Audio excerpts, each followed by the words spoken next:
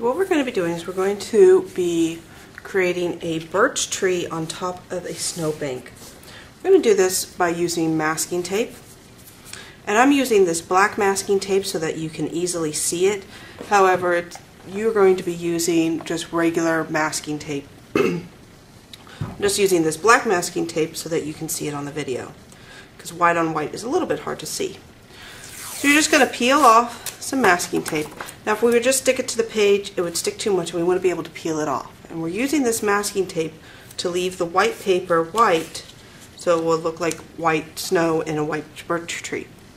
So what we're going to do so that this tape isn't too sticky is we're going to put it on our clothes and jeans work great or you can do your sleeve and then you just peel it right off and that takes some of the stick off to just put it on your clothes and then peel it off. Takes off enough of the stick that you'll be able to peel it off of this paper when the time comes.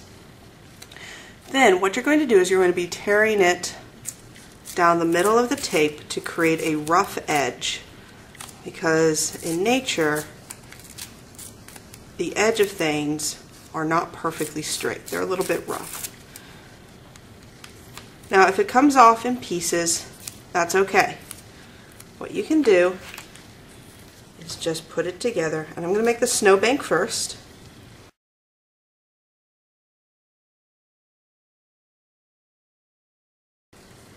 Like that. Then I'm going to start building the tree, and we're going to take the tree all the way up. So I start by building the trunk of the tree.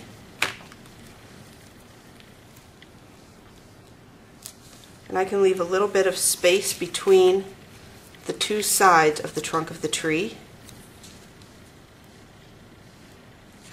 You can build it all the way up or you can make it a little bit skinnier and just have it like that. That's what I think I'm going to do.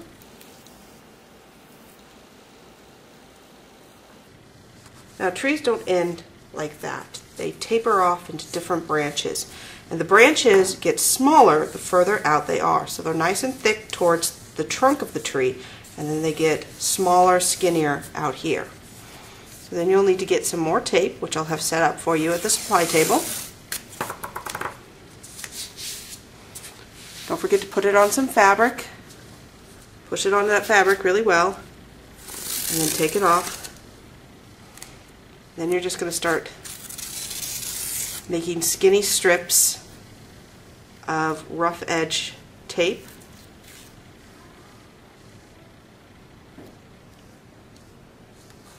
See how that's a straight edge there?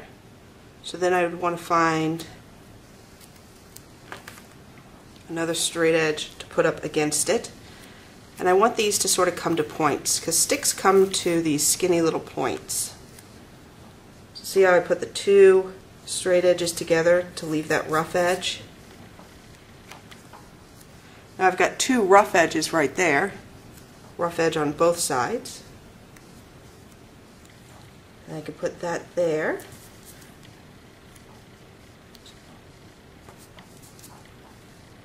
I'm just building this tree up.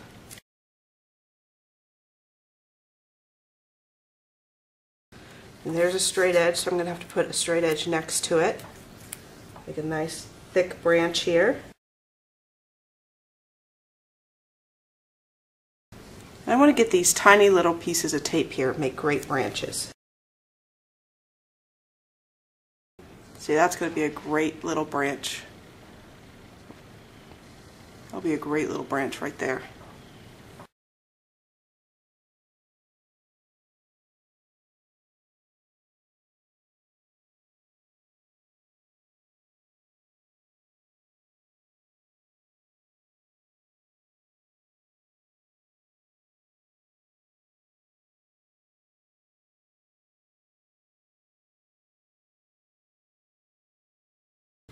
You don't want anything that just stops right there. You want it to come to a point.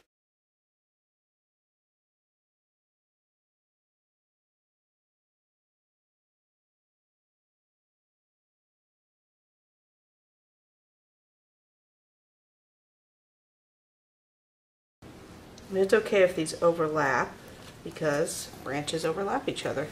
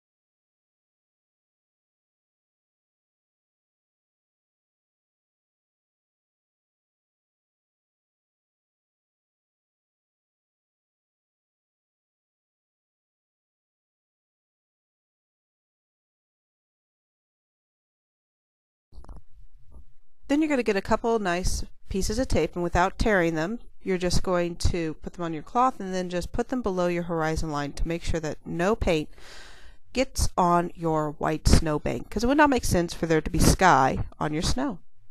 Then you're going to get your paints and you have red, blue, and purple. Now, the nice thing about watercolors is even if there's not very much, there's still plenty there because watercolors, a little bit goes a long way. Make a nice little bump for your sun. Then add some purple for your twilight sky and some blue. Now, I don't have a piece of tape in between my tree, in the middle of my tree, but you probably should put a piece of tape in the middle of your tree to make sure that you absolutely do not get any paint in your tree. And then you're just going to finish painting. Then get a tray. And actually, you're going to be working on, you can work on your tray the whole time if you'd like. And you're going to put some salt down and you're going to shake lots and lots of salt on that very, very wet piece of paper. When you're all done with the salt, take the tray with your piece of paper on it and put it in the drying rack.